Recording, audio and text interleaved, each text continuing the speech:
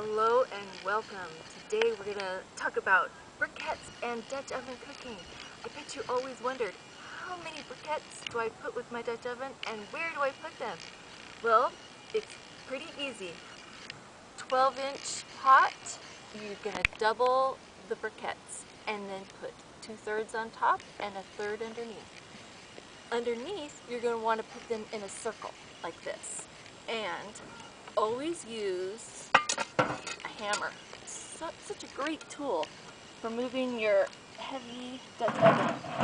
So you're going to put that like that. The reason why you want to put less on the bottom is heat rises. So the top, you want it to be an oven and radiate the heat back down. And underneath, you don't want it to get too hot and burn.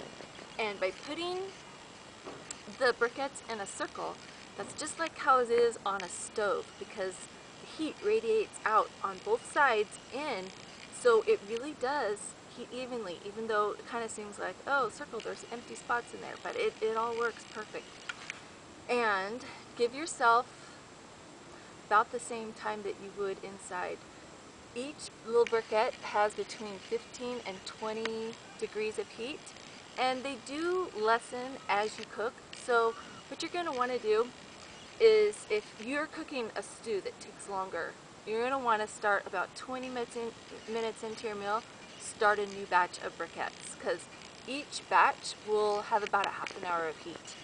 So also, keep your briquettes in a waterproof container. You don't want them getting wet or absorbing moisture. So always keep them in a covered bucket. Tongs dedicated to charcoal.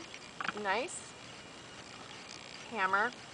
Super good at this when it's all done. I didn't like these today, but look. What a good idea. These are still just a little warm. But imagine this. You could make some cowboy rolls ahead of time. These cowboy rolls are awesome. They have, some of them have cream cheese in them and some of them have beans in them. Make them ahead of time, freeze them, bring them on your camp out, and then just heat them up and you have a delicious dinner. Look at this. Yum! Okay, enjoy your outdoor get-together with your family and your friends and mm, enjoy a delicious meal.